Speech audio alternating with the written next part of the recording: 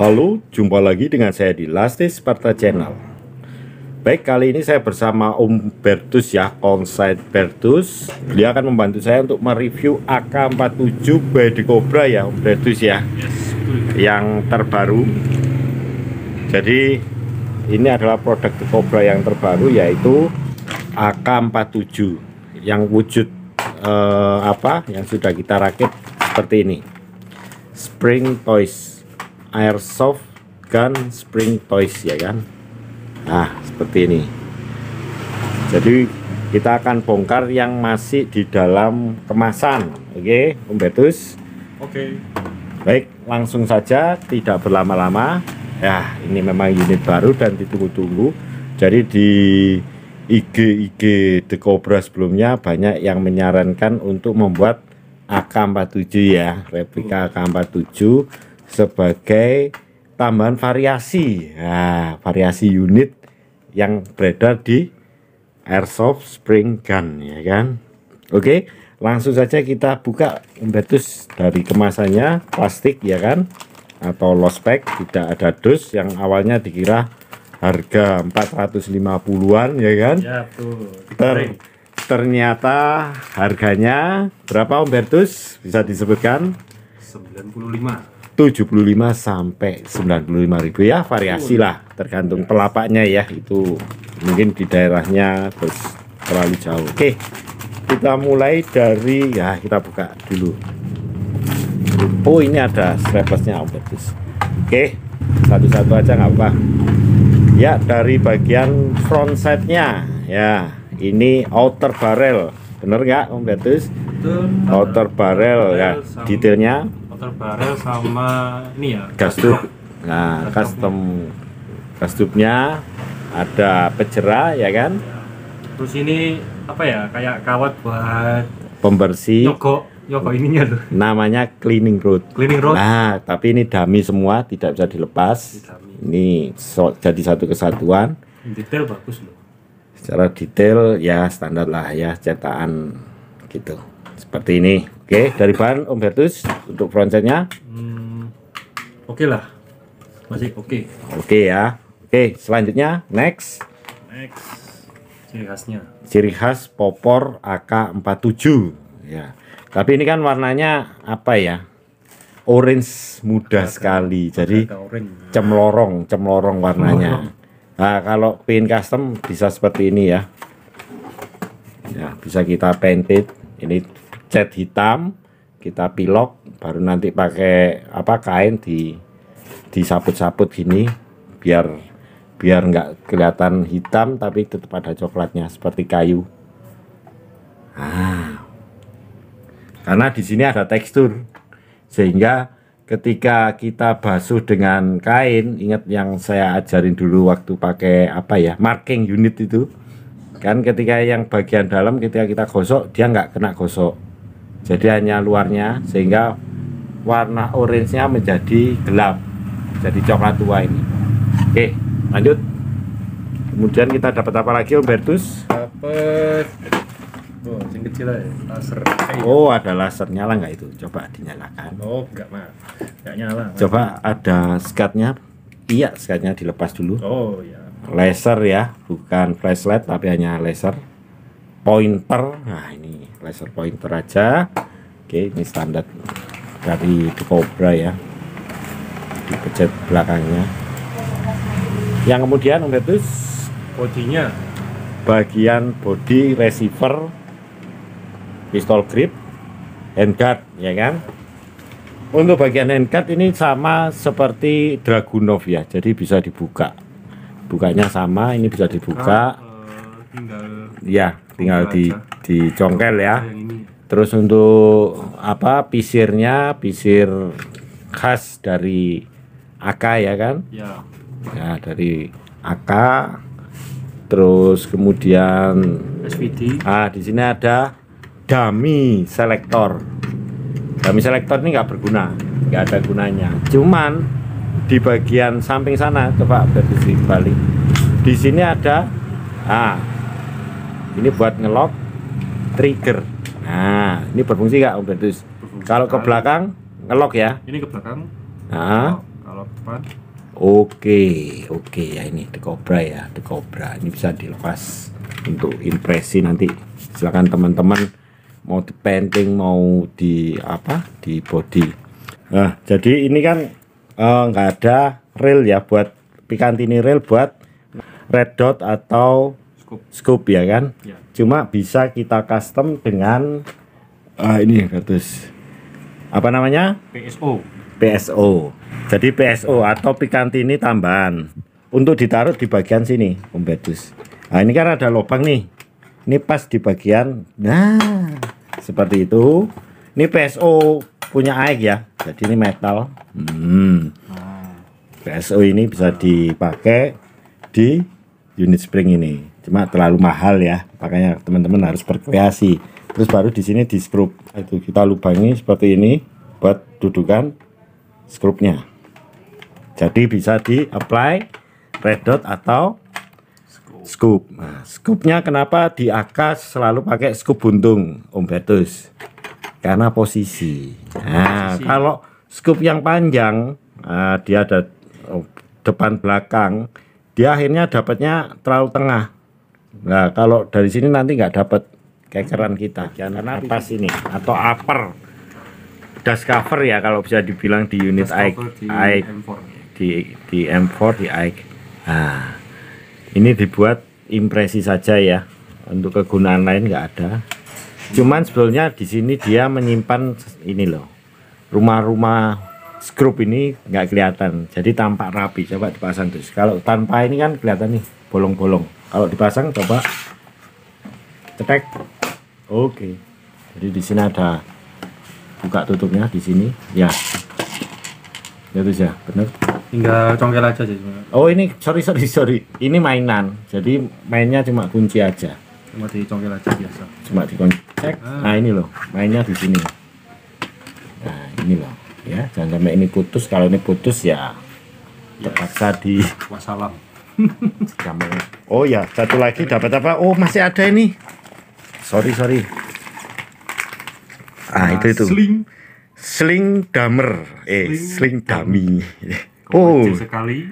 Jadi ini bisa dipakai ya. Cuman jangan jangan dipakai buat sukir ya. Loh, boleh dipakai sukir Robertus. Cuma unit jangan dikasih batu atau terlalu berat. Nah, Ah, kalau mau pakai ini. ya? Ya. Tolong. Habibi. Terus kemudian magazine. Oke, kita akan coba kapasitas magazine ketika full load. Ya, full load kita isi dulu. Kita rakit, kita tes krono ya. Jadi jangan ke mana-mana. Ditunggu kita untuk tes krono unit ini ketika standar. Untuk upgrade mungkin besok atau lusa ketika saya ada waktu senggang akan saya buatkan video upgrade beserta eh, banyak eh, apa ya teman-teman sudah ngasih informasi bahwa unit ini sering double fit bener nggak informasi Betul ini? lah nanti apa problemnya coba kita bongkar bersama-sama oke? Apa itu bagus? Di reload dulu. Jangan lupa ngopi ya guys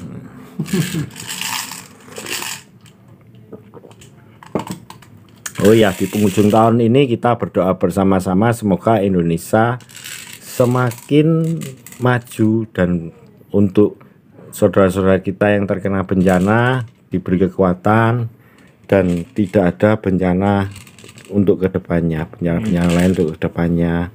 Ya kita sebagai manusia tetap balik lagi ke fitrahnya ya kan? Kita Betul. hidup di atas dunia ini. Jadi kita harus sinkron dengan alam ini jangan merusak alam.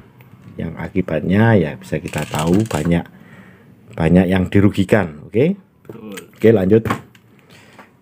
Sudah? Sudah. Full load sudah di lock oke? Coba dihitung kalau ketika full load ini soalnya magazine panjang apa dia apa ya eh, efektif dengan panjangnya magazine? Memang agak panjang sih. Cuman harusnya ini tambungannya juga lebih banyak oke?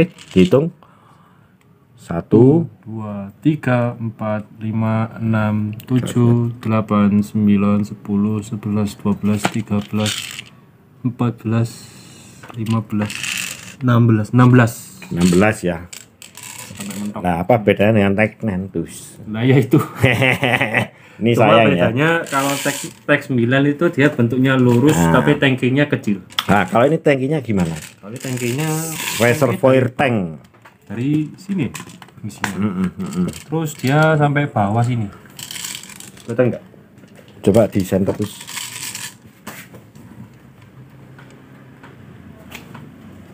Waduh, seperti goa naga, ya kan?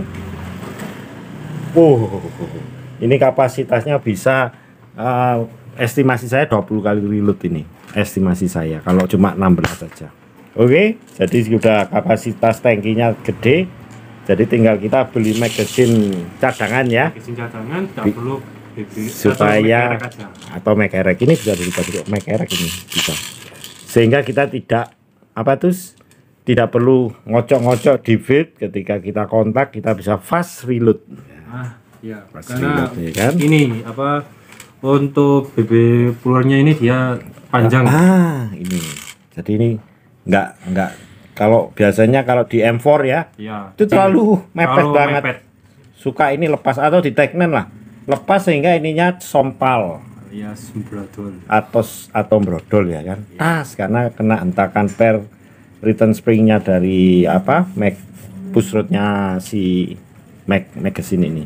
Oke lanjut tuh sekarang kita rakit terus untuk kita akan coba berapa sih panjang unit ini? Panjang banget apa enggak ya kan ya ah sebentar sebentar sebentar, sebentar. ini ada satu yang jadi PR ya buat teman-teman ketika upgrade nanti jadi di sini ini ada tambahan untuk bagian apa outer barrel ya kan ya atau front set ini. Lah di sini ada inbar plastik eh in- inbar aluminium untuk bagian depan dan belakang adalah inbar plastik. Aduh kok gelap ya. Ah itu. Ini barel plastik. Sehingga ada sambungan antara inbar utama yang dari chamber ke outer barrel, ke barrel depan ini.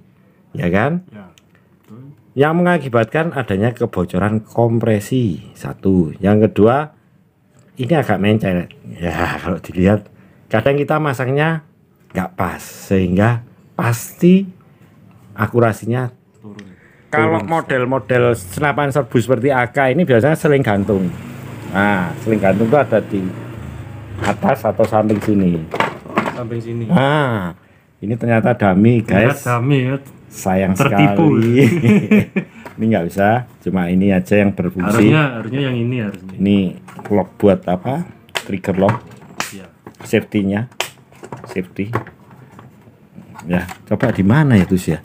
Kayaknya di sini deh bukan. Apa itu untuk seharusnya di sini cuma karena. Anis nggak bisa dipasang. Oh ini ini ini ada ini? Ada kok. Oh ternyata kita disediain coakan ya guys. Cuma ya pesan saya jangan dikasih pemberat kalau kita mau pakai ini. Ini depannya sama sini. ada. Loh benar sehingga seimbang. Jadi ini ada kayak coakan ya. Nah, ini tempat seling ini meskipun damit cuma tetap disediain. Terus coba dipasang dulu Betul. oke coba dipakai selingnya. Kalau dipakai seperti apa? Cangkrong sini.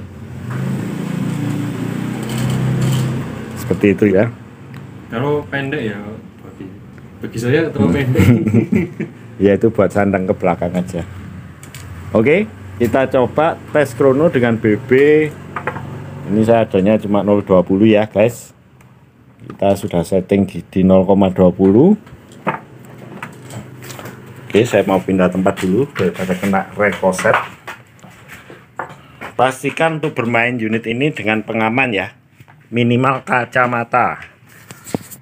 Kalau kita supir ya kacamata, helm, sepatu, jangan lupa sepatu karena field kadang di field bebas. Oke, coba dikokang.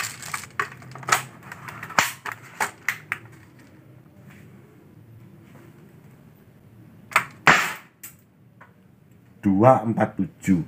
Ini kenapa? Sebenarnya ini kalau dilihat pistonnya memang besar. Ini piston panjang ini.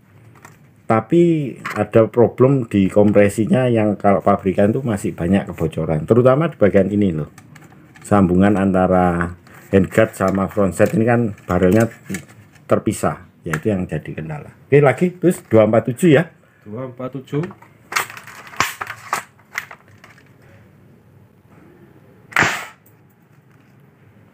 245 konsisten di 240 ya. Yes 245 247 coba sekali lagi tiga kali lah. Sunnah itu ya. Oh, sunnah.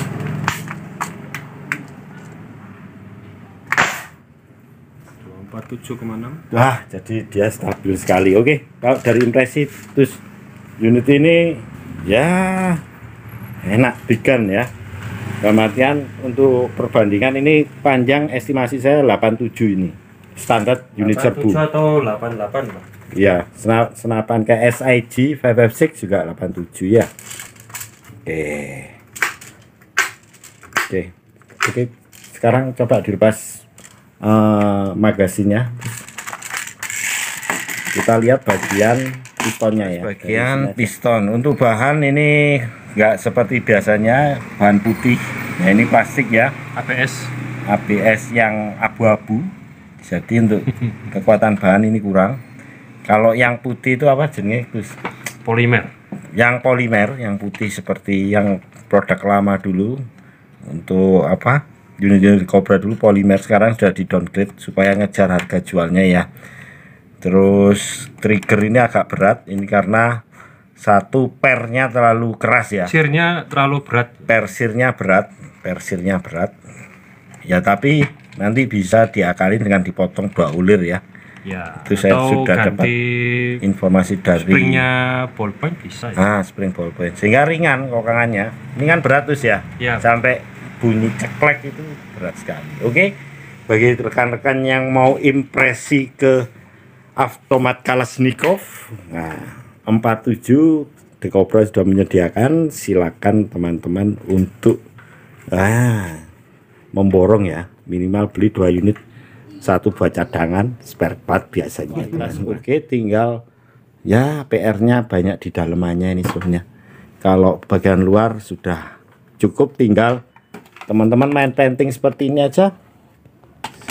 Nah ini punya Mas Vicky ya salah satu anggota SOP di painting seperti ini. Beliau painting seperti ini. Jadinya kayak real wood. Nah real wood nyata loh real wood loh ini. Loh.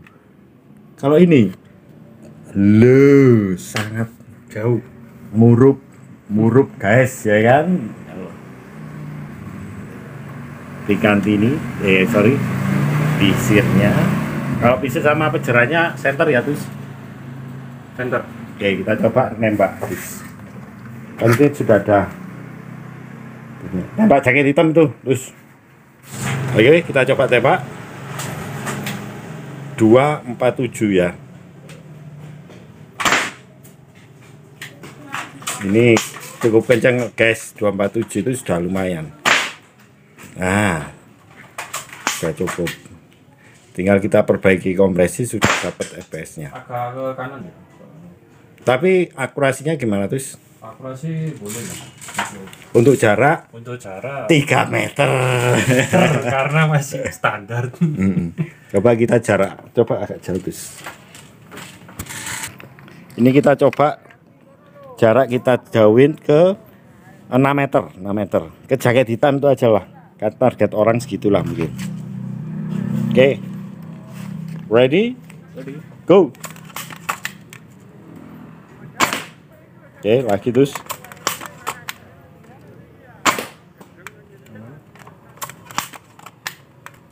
kosong. Ah double fit ya itu yang dimaksud double fit tadi. Oke itu sebagaimana uh, kesan dan pesan ketika tes tes unit ini? Uh, unitnya oke okay lah untuk biar nggak biar nggak terlalu blok barat terus ya mungkin. Iya. Satu dua dia skalanya udah kecil loh ini. Daripada punya unit saya mungkin gedean ini iya iya iya yang ketiga potensial bednya terlalu sudah sangat banyak ini. Bisa hmm. bersaing sama M416 oke. Okay. saya rasa lebih besar itu. Bisa kita jadikan sniper. Akurasi gimana Bertus barusan? Untuk akurasi bisa lah bersaing sama jurit-jurit lain. Oke ya, jadi tadi sudah dicoba akurasinya lumayan ya. Untuk jarak 6 meter. Untuk video update ditunggu saja ya. Eh, tunggu waktunya. Oke, terima kasih Om Bertus, terima kasih rekan-rekan sekalian, para exporter. Jangan lupa like, comment, and subscribe. See you, bye bye.